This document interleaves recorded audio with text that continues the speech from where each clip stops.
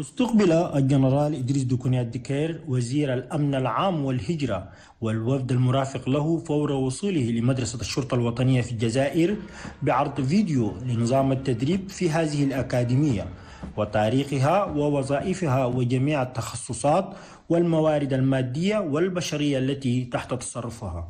لإثبات قدرتها على احتواء الاحتجاجات العنيفة تم إجراء محاكاة لمكافحة الشغب لإنفاذ القانون ببراعة.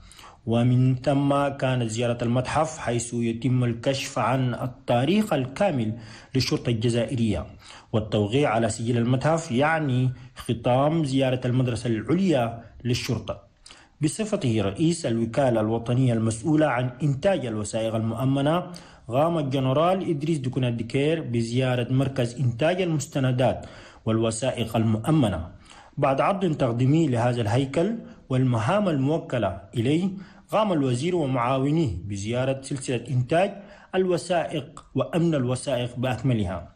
أفاد مدير هذا المركز أن لدى شركتهم قدرة إنتاجية يومية تبلغ ثمانية ألف رخصة قيادة واثنا عشر ألف جواز سفر وعشرين ألف بطاقة هوية وطنية ضمن وحدة تعليمات الحماية المدنية والتدخل. رحب الجنرال إدريس دوكونات ديكير ترحيبا حارا كما هو الحال في كل الأماكن التي أستضيف فيها حيث بدأ بطابور الشرف من قبل قوات الشرطة وبعده حضور عرض موجز يصف المهام الحقيقية للحماية المدنية.